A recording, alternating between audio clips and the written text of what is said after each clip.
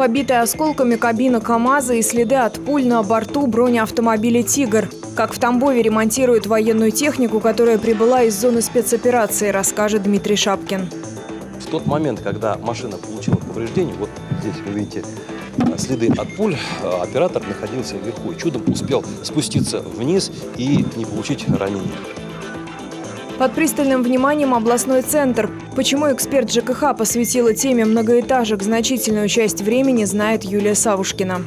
Три года назад Светлана Калинина здесь уже бывала. С тех пор многое изменилось. Появилась хоккейная коробка, спортивное оборудование, заасфальтированные дорожки.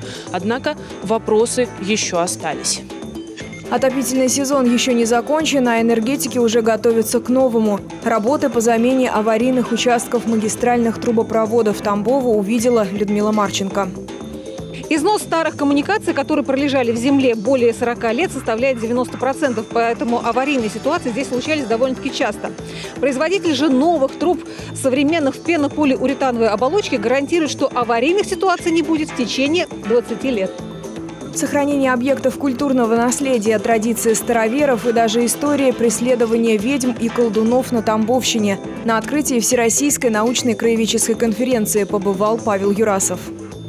24-я Всероссийская научная конференция «Тамбов в прошлом, настоящем и будущем» посвящена 150-летию со дня рождения Сергея Васильевича Рахманинова. Иначе быть, наверное, и не могло, но только истории жизни и наследия великого композитора тема докладов не ограничиваются. Исследователи представят очень много интересного и нового об истории нашего края.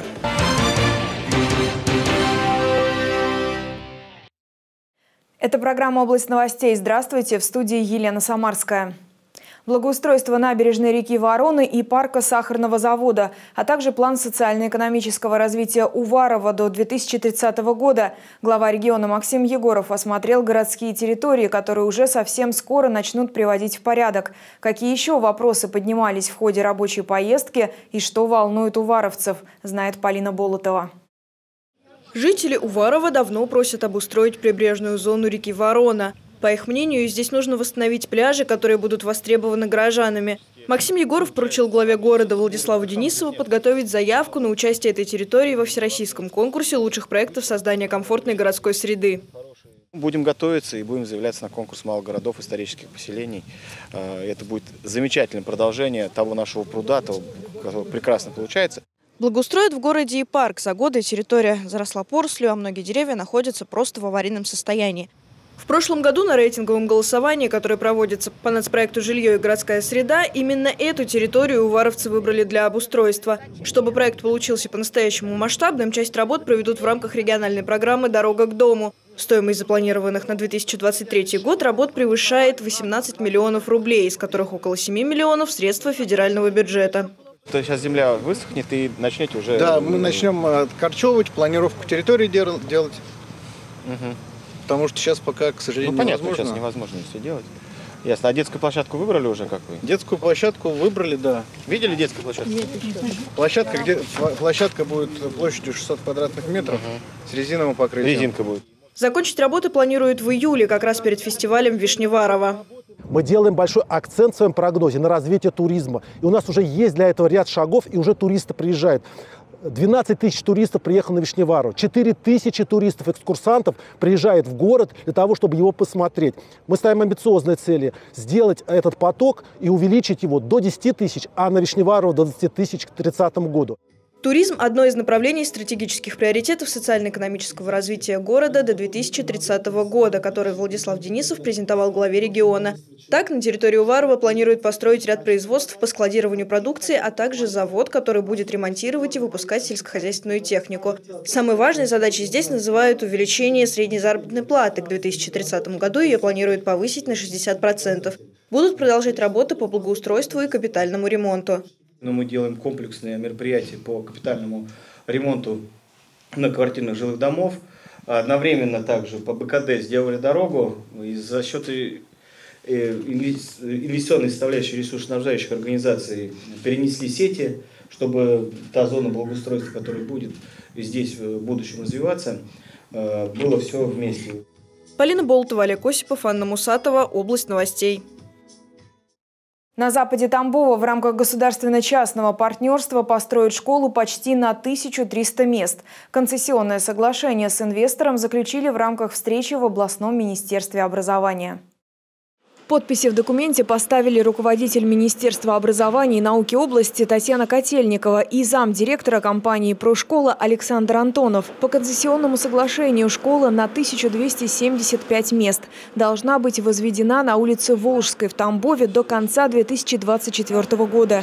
На реализацию проекта направлено свыше 2 миллиардов рублей. Это средства федерального бюджета и инвестиции концессионера. На этапе эксплуатации эти средства инвестору будут возвращаться.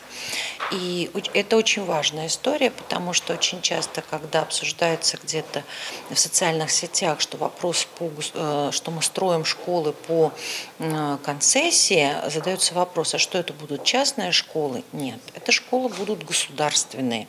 За ними также будут закрепляться микрорайоны, они также будут решать задачи города Тамбова, но для того, чтобы обеспечить возвратность средств, которые вкладывает инвестор, инвестор в течение определенного промежутка времени будет осуществлять эксплуатацию этой образовательной организации. Напомним, в минувшем году в рамках концессионного соглашения было начато возведение школы в микрорайоне Майский. Завершаются переговоры с предполагаемым инвестором на строительство школы в Бокино. Таким образом, благодаря механизму государственно-частного партнерства, который позволяет создавать образовательные организации в более короткие сроки, к концу следующего года в Тамбове появятся три современные школы общей мощностью почти 5000 мест. Проблемные объекты Тамбовской области проинспектировала член Центрального штаба Народного фронта, эксперт в сфере ЖКХ Светлана Калинина. В заключительный день визита под пристальным вниманием оказался областной центр. Значительную часть времени при этом эксперт посвятила теме многоэтажек, которым требуется ремонт, а также проблеме аварийных домов. Обо всем по порядку расскажет Юлия Савушкина. Мичуринск, Маршанск, Рассказово и другие муниципальные образования позади. Сегодня эксперт Народного фронта в сфере ЖКХ Светлана Калинина в рамках своего трехдневного визита в регион инспектирует областной центр. О проблемах бывшего общежития на Рязанской 28 известно практически во всех ведомствах разных уровней. Жалобы направляют в том числе и в Народный фронт. Стена здания в той части, где должны располагаться так называемые постирочные комнаты, разрушается. Вы видите, что про кирпич разложился от того, что мочой его и мочевина, она, кислота, она раз, разбивает силикат. Отметим, что в этом году в доме при софинансировании из областного бюджета запланированы работы по программе капремонта. Однако Светлана Калинина уверена, стена нуждается в реконструкции. Только ремонта здесь недостаточно. Мне нужны метры квадратные. Сколько? Сколько муниципального жилья метров? Сколько в собственности? Именно по вот этим прилегающим вы мне делаете полностью аналитику с муниципальным образованием. Мне отдаете, сколько денег дополнительных надо. Фондом территориального развития уже работаем, чтобы вы в программу их включили, что все виноваты в этой сложности ситуации. Будем подключать уже все службы, чтобы на эти квартиры дали дополнительное финансирование для региона. Отдельного разговора требует и ситуация соседей, жильцов злополучного общежития. В 2021-м дом на Рязанской 22 капитально отремонтировали за счет средств фонда капитального ремонта, а всего через год его признали аварийным. А можно узнать, в чем проблема у города с работой муниципальной межведомственной комиссии? Он что, только в 22 году такого вида? Я в 19 здесь была, в 18 здесь была такая же история была. Почему так долго? Поэтому Народный фронт обращение сейчас, готовит, Алина, запрос в Следственный комитет по бездействию органов муниципальной власти к, физ... к лицам конкретно руководства 19, 20, 21 года. Еще один пункт в маршруте эксперта Чечканова 131, пожалуй, одно из самых заметных зданий областного центра. 600 с лишним квартир, почти полторы тысячи жителей. Это самый большой дом в Тамбове, его еще называют Пентагон. И три года назад Светлана Калинина здесь уже бывала. С тех пор многое изменилось. Появилась хоккейная коробка, спортивное оборудование, заасфальтированные дорожки. Однако вопросы еще остались. Жильцы убеждены, дому нужен капитальный ремонт фасада с утеплением. За это на общем собрании проголосовало 70% человек. Другие же решили, что в первую очередь необходимо отремонтировать коммуникации, однако собранных средств на все виды работ не хватает. 70% я не против вас. Но и 30 остальных, которые тоже пишут, для меня тоже люди. И я их также должна защищать. У нас должен быть консенсус. Если им плохо в, под... в первые вторые этажи у них воняет в подвале, потому что там заливает канализация, либо контруклон или что-то там сломан, там, это сделайте заключение. Вы слушайте основные проблемы инициативной группы. Всех. До 15 апреля, как отметила Светлана Калинина, необходимо подготовить протокол с указанием видов работы и расчетами средств, необходимых для ремонта, в котором дом нуждается безотлагательно. Отметим, что о результатах инспекции в регионе эксперт Народного фронта доложит главе области Максиму Егорову. Юлия Савушкина, Олег Осипов, Александр Кобзарев. Область новостей.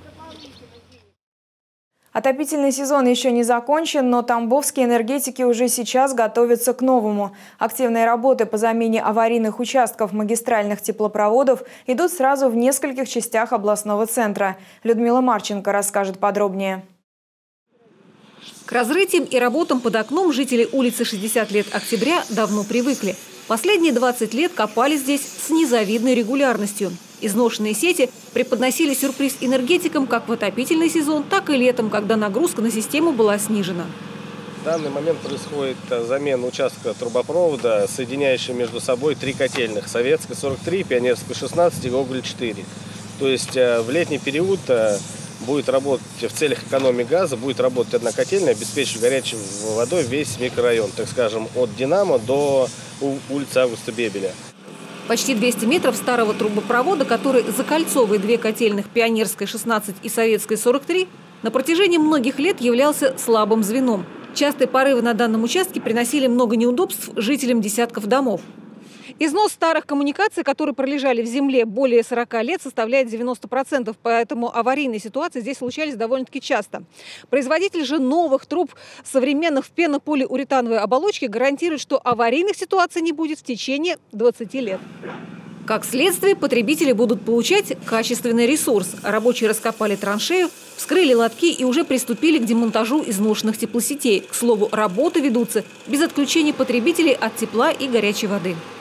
От проводимых работ э, никто в данный момент не страдает. Все потребители с теплоносителем с горячей водой, работы ведутся параллельно, без отключения горячей воды, трубы кладутся рядом, пока без демонтажа, э, и будет э, осуществлена, осуществлена в начале, в середине апреля переврезка по горячему трубопроводу, но это один, ну, я думаю, что один рабочий день займет. Замена магистрального трубопровода и оптимизация системы теплоснабжения микрорайона ведется и на Астраханской. Это позволит получать качественный ресурс по горячему водоснабжению жителям домов 196 и 198, которые запитаны от отдаленной котельной на Карбышево. Из-за большой протяженности трубопровода происходят потери температуры, горячего водоснабжения. Переключив э, эти два дома от котельной Астраханская 191, мы избежим эти потери, и люди будут э, пользоваться горячей водой в полном объеме, без потери, так скажем, температуры. Трубопровод протяженностью 780 метров соединит эти дома с котельной на Астраханской. Для того, чтобы не вскрывать дорожное покрытие и не ограничивать движение по одной из главных транспортных артерий города, прокладывают трубы методом горизонтально направленного бурения – Полностью завершить работы на объектах и привести восстановление нарушенного благоустройства территории предприятие «Тамбов Теплосервис» планирует до конца апреля. Людмила Марченко, Михаил Мальцев, Александр Щеднов. Область новостей. Сохранение и восстановление объектов культурного наследия Тамбовской области, традиции и культура староверов Тамбовского края и даже история преследования ведьм и колдунов на Тамбовщине – вот лишь часть тем, поднятых на 24-й краеведческой научной конференции. Она прошла сразу на нескольких площадках города, а участие в ней приняли исследователи из Тамбовой области, а также из других регионов. Продолжит тему мой коллега Павел Юрасов. 24-я Всероссийская научная конференция «Тамбов в прошлом, настоящем и будущем» посвящена 150-летию со дня рождения Сергея Васильевича Рахманинова. Иначе быть, наверное, и не могло, но только истории жизни и наследия великого композитора тема докладов не ограничиваются. Исследователи представят очень много интересного и нового об истории нашего края.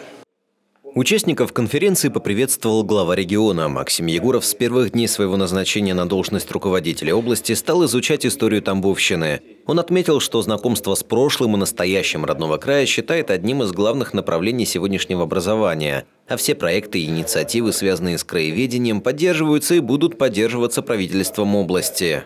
В 2007 году коллективом тамбовских ученых было разработано учебное пособие для школьников «Историческое краеведение. История Тамбовского края». Считаю важным и крайне необходимым вопрос актуализации материалов этого учебника с учетом новых исследований. И э, поэтому я даю поручение, чтобы пособие необходимо обновить и переработать.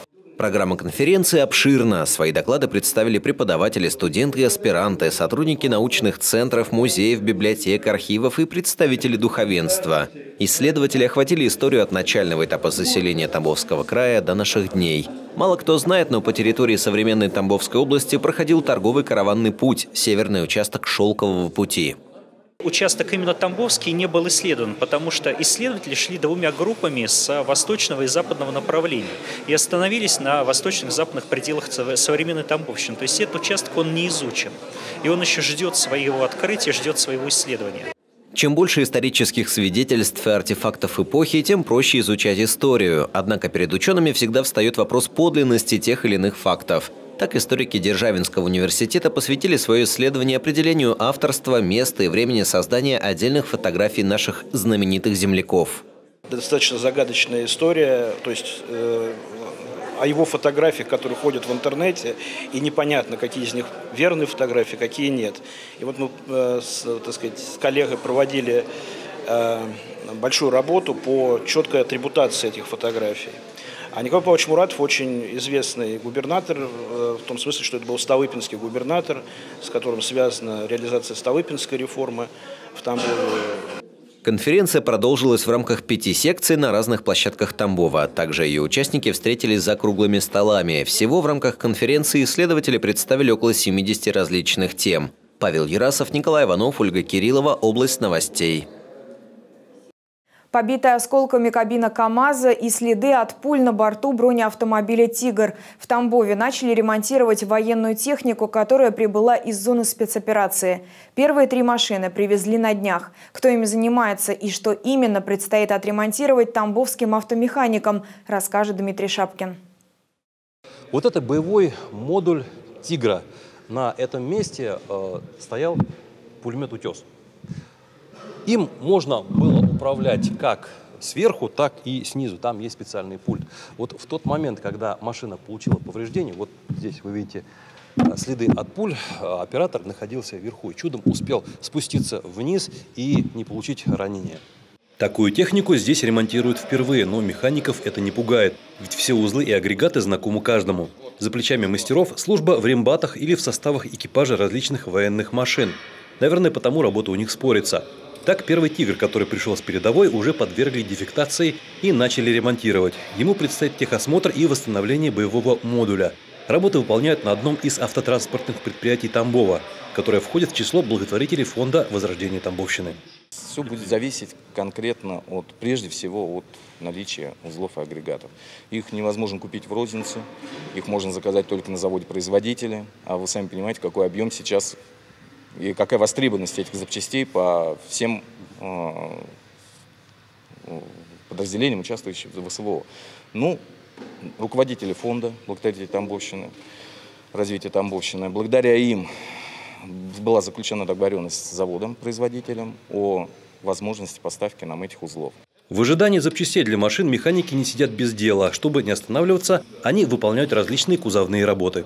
Когда у нас придут э, запчасти, редуктора и все остальное, у нас уже кузовные работы будут готовы все полностью. То есть вы не стоите на месте? Нет, нет. То есть часть работы какие-то уже... Это... Конечно, конечно, да. Да, вот вы можете видеть, вот на том «Тигре» уже облицовка выправ... э, поправлена. Вот, э, будем приступать к этому. Вот бронеплиты латаются и так далее и тому подобное. Бронепластины заменят на втором «Тигре», который попал под удар осколков кассетного боеприпаса. На нем же заменят редукторы, которые буквально разорвало от запредельных нагрузок на технику. Последний борт на ремонте – военный КАМАЗ, который нес бронекапсулу с десантом. Взрыв мины повредил кабину, загорелся двигатель. Грузовик более знаком механикам, да и запчасти к нему ждать не нужно. Поэтому его восстановление идет быстрее. Все эти работы, на которые фонд выделил 7 миллионов рублей, планируют завершить в течение месяца. Если эксперимент будет успешным, ремонт военной техники в Тамбове хотят сделать регулярным. Напомним, фонд развития Тамбовщины был создан по инициативе главы региона Максима Егорова. На данный момент в него поступило свыше 260 миллионов рублей. Деньги перечислили более двух с половиной тысяч организаций и почти 13 с половиной тысяч физических лиц. Дмитрий Шапкин, Александр Чекмарев, Александр Кобзарев. Область новостей. Начинающим айтишникам региона предлагают проверить свои силы в индустрии игр. Конкурс «Троеборье» с денежными призами объявила одна из успешных тамбовских IT-компаний. О том, чего ждут от участников и какие перспективы открываются перед талантливыми разработчиками, расскажет Юлия Савушкина. Офис Тамбовской IT-компании. Сегодня здесь трудится около полусотни человек, которые занимаются разработкой и созданием мобильных игр. Многие сотрудники – победители конкурсов для начинающих айтишников. Такие команда проводит ежегодно. В этот раз это конкурс «Троеборье», который включает в себя несколько дисциплин. Одна из задач – анимация персонажа. На примере одного из наших персонажей из нашей новой игры можно посмотреть, как строится процесс костной анимации. А, и э, с примерно такими же э, задачами столкнется участник э, конкурса. Все примеры и все картинки, соответственно, задания опубликованы, и с ними надо будет работать. Дмитрий Шувакин, что называется, заболел играми еще в детстве. Будучи специалистом по связям с общественностью, он сам активно участвовал в конкурсах для таких же, как он. На всероссийском уровне представлял прототип собственной настольной игры. Спустя годы интересы распространились и на виртуальное пространство, а сам Дмитрий теперь следит за процессами создания мобильных игр от написания сценария до релиза. Это всегда отлично, это э, дает рост э, для тем, кто хочет э, чего-то там добиться, просто почувствовать свои силы и увидеть то, что все вокруг такие же обычные люди, это не какие-то мы не сверхлюди, здесь все обычные ребята, просто с любовью к играм и умеем делать отличные игры. В первую очередь организаторы ждут заявок на конкурс от молодых специалистов, студентов IT-специальности или тех, кто интересуется технологиями и, к примеру, хочет сменить сферу деятельности. Задания, к слову, уже опубликованы на официальных аккаунтах компании. Аниматор, геймдизайнер и повелитель нейросети – основные номинации этого конкурса, но участвовать можно и сразу в трех дисциплинах. Общий призовой фонд – 100 тысяч рублей, а еще более ценным может оказаться возможность стажировки в компании в перспективе и предложение о сотрудничестве. Дефицит кадров в IT, отмечают в компании, был всегда. И сейчас, когда технологии все больше проникают в разные сферы жизни, требуется немало специалистов узких направлений. Подобные конкурсы помогают работодателям познакомиться с перспективными молодыми людьми, а начинающим айтишникам развиваться. IT-область э, перспективная, обучение в этой области перспективное. А порог входа стал гораздо ниже, то есть огромное количество знаний, огромное количество лекций, информации, которые можно самостоятельно впитывать, э, сейчас есть, будет еще больше. Огромное количество э, курсов, которые позволяют там первый страшный этап, страшные шаги да, сделать и понять, что как бы в этом можно развиваться. На выполнение заданий у участников конкурса есть около двух недель. Итоги подведут 9 апреля. Юлия Савушкина, Илья Тырса, Александр Кобзарев. Область новостей. Студенты средних профессиональных учебных заведений области блеснули знаниями на интеллектуальном шоу «Ворошиловский стрелок». В нашем регионе игру такого формата провели впервые, за что боролись юные эрудиты, узнала наша съемочная группа. Какая звезда самая ближайшая к планете Земля? Красный. Солнце. Правильный ответ, да. Сошлись в интеллектуальном поединке 20 команд студентов колледжа и техникумов Тамбовской области. Главная цель – выбить игроков команды противника из игры правильными ответами. Причем отвечать нужно не только правильно, но и быстро. По крайней мере, быстрее соперников. Если игрок знает ответ, он нажимает на кнопку. Если ответ верный, то игрок противоположной команды покидает игру. В противном случае выбывает отвечавший. Вопросы касаются самых разных тем – грибы, звездное небо, числа и буквы. Ну, на самом деле здесь очень простые вопросы, и как бы в вопросе подготовки я просто сам по себе, мне интересуют всякие загадки, э, я очень много читаю книг и как бы, и как бы смотрел очень много мультфильмов. И все эти вопросы, которые они задают, я знаю на, все, на них все ответы. Неверный ответ, и ты выбываешь. Из-за этого как бы волнение, ты сразу не спешишь. у тебя появляются сомнения. В этом году впервые прошел чемпионат по ворошиловскому стрелку среди студентов СПО. Эта игра отборочная. Несколько команд нашего региона представят Тамбовщину на втором чемпионате. Сейчас идет отборочный этап на второй чемпионат, который состоится осенью этого года. Да, и, соответственно, естественно, а, победители, сегодняшние победители в других городах, которые да, мы проводим где-то порядка от 25 до 30 Э, таких кубков а, в разных регионах по всей России. К инициативе присоединилось областное правительство и добавило мотивации игрокам.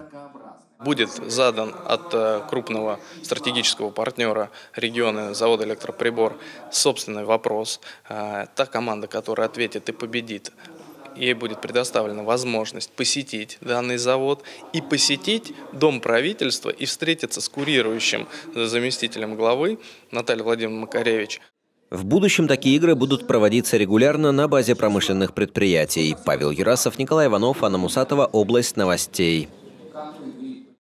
На этом пока все. Еще больше информации на нашем сайте, в Телеграм и в группах соцсетей. Всего доброго и до встречи.